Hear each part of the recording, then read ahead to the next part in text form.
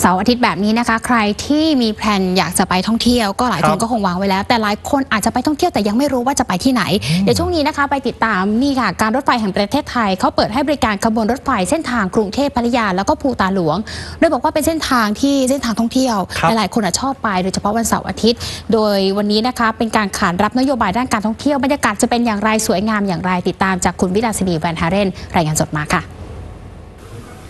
วันเสาร์อาทิตย์แบบนี้ถือว่าต้องออกมาเดินทางท่องเที่ยวกันนะคะ และคนส่วนใหญ่ก็มักจะเดินทางท่องเที่ยวแบบใกล้กรุงเทพมหานครแบบเช้าไปเย็นกลับค่ะ วันนี้ที่ฉันพาคุณผู้ชมมาอยู่ที่ตลาดน้ำสี่ภาคที่เมืองพัทยาจังหวัดชนบุรีนะคะ แต่ว่า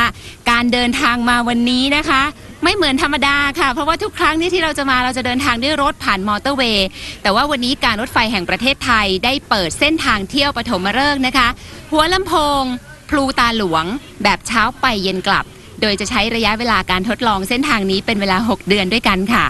ระยะแรกนะคะจะเปิดทดลองเป็นระยะเวลา 6 เดือนค่ะ ซึ่งรองผู้ว่าการรถไฟกลุ่มธุรกิจ การเดินรถการรถไฟแห่งประเทศไทยนะคะนายธนงศักดิ์พงประเสริฐก็บอกว่าเส้นทางนี้ได้รับการตอบรับเป็นอย่างดี คาดว่าจะมีนักท่องเที่ยวต่างชาติมาใช้บริการเส้นทางนี้จำนวนมากค่ะ ก็จริงๆก็เป็นเชิงนโยบายของรัฐบาล เราสนับสนุนการท่องเที่ยวนะครับการท่องเที่ยวทางหนึ่ง ซึ่งเป็นทางเลือกที่ดีก็คือทางการรถไฟนะครับซึ่งเราช่วยในเรื่องของการจราจรที่หนาแน่นนะครับ แล้วก็สะดวกสบายขนส่งข่าวละมากๆนะครับลดภาวะในเรื่องของมลพิษนะครับ ตรงนี้เป็นทางเลือกซึ่งณปัจจุบันมีนักท่องเที่ยว ทั้งชาวไทยและต่างชาติเข้ามาใช้บริการค่อนข้างมากนะครับ เพราะเราก็คิดว่า ทางรถไฟโดยเฉพาะในวันเสาร์อาทิตย์ที่ไปพัทยาเนี่ยนะครับรถค่อนข้างติดนะครับ แต่รถไฟเนี่ยเราสามารถอ่ากำหนดระยะเวลาการเดินทางได้ค่อนข้างชัดเจนนะครับ แล้วก็ขนส่งนักท่องเที่ยวซึ่งสามารถเดินในบนรถไฟได้นะครับ มีความสะดวกสบายนะครับ แล้วก็หยุดหลายแห่งมีทางเลือกที่จะให้นักท่องเที่ยวได้เข้าถึงตัวสถานที่ท่องเที่ยวได้เลย นอกจากนี้นะคะเส้นทางนี้ยังเป็นการสนับสนุนการท่องเที่ยวที่เชื่อมโยงในภูมิภาค และสนับสนุนแผนการท่องเที่ยวแห่งชาติในปี 2561 ที่มุ่งเน้นการท่องเที่ยวชายฝั่งทะเลตะวันออก ส่วนรถที่ใช้เดินก็เป็นรถดีเซลราง นั่งปรับอากาศชั้น 2 รองรับการเดินทางผู้โดยสารที่จะเดินทางมาส่วนใหญ่นะคะ ก็ต่างบอกว่าถ้าหากมีเส้นทางแบบนี้ก็จะเดินทางท่องเที่ยวโดยรถไฟบ่อยขึ้นด้วยค่ะ วันนี้กะว่าจะไปลงที่สถานีไหน ก็ไปที่สุดทางฮะพุตาลุงครับ ไปภูตาหลวงคเลรับยผมเที่ยวทะเล ครับ ค่ะ ก็ยังไม่เคยมาเลยฮะ ค่ะครับ ถือว่าการเปิดเส้นทางแบบนี้จากกรุงเทพไปไปที่ภูตาหลวงเลย แล้วก็เดินทางโดยรถไฟปกติเรานั่งรถไปนะคะ คิดว่าเป็นเป็นเป็นเสน่ห์ยังไงบ้างคะการนั่งรถไฟไป คือจริงๆแล้วก็เป็นการเปลี่ยนบรรยากาศอย่างหนึ่งก็นี่แบบว่า relax time ไปในตัวแหละ คือ แต่ละคนมาส่วนนี้ทั้งนั้นเนี่ย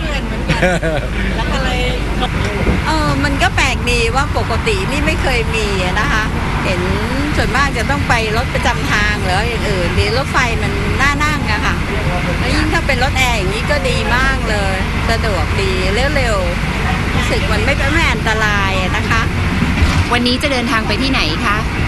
เอามองมองดูแล้วจริง ๆ ก็หลายที่ที่มองไว้ก็คงจะไปตลาดน้ำก่อนไปดูของกินกับนะคะแล้วก็หลังจากนั้นก็คงจะต่อรถไปที่อื่นๆอะไรแบบนี้ที่มันต้องดูเวลาด้วยดูเวลาว่าเอื้อมมือแค่ไหน ส่วนการให้บริการรถไฟเส้นทางนี้นะคะ จะให้บริการวันละ 2 ขบวนไปกลับนะคะ เริ่มให้บริการก็คือวันนี้วันเสาร์ที่ 17 มีนาคม กินระยะเวลาทั้งหมด 6 เดือนก็ไปจนถึงวันอาทิตย์ที่ 30 กันยายนปี 2561 นะคะ คาดว่าเมื่อเปิดให้บริการขบวนรถพิเศษดังกล่าวแล้วก็จะมียอดผู้ใช้บริการรถไฟเพิ่มขึ้น และหากมีจำนวนเพิ่มขึ้นอย่างต่อเนื่องนะคะ ก็จะพิจารณาขยายเวลาการให้บริการต่อไปค่ะ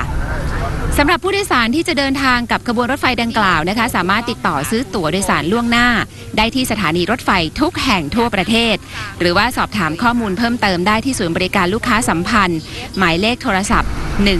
1690 ค่ะ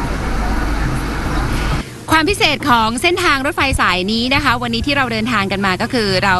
ลงที่ตลาดน้ำสี่ภาค ซึ่งเป็นสถานีที่อยู่ด้านหลังเลย แล้วก็สามารถที่จะมาเดินเที่ยวที่นี่ได้เลยนะคะ โดยปกติแล้วเส้นทางการเดินทางโดยรถไฟในช่วงวันเสาร์อาทิตย์ในเส้นทางนี้จะไม่มี และที่สำคัญไม่มีรถแอร์ด้วยนะคะ ส่วนราคาอยู่ที่ 170 บาทต่อเที่ยว ถ้าหากมาแล้วก็สามารถที่จะมาเที่ยวแบบนี้ได้เลยนะคะ วิลาสินีแวนหาแรนรายงานจากตลาดน้ำสี่ภาคเมืองพัทยาจังหวัดชนบุรีค่ะ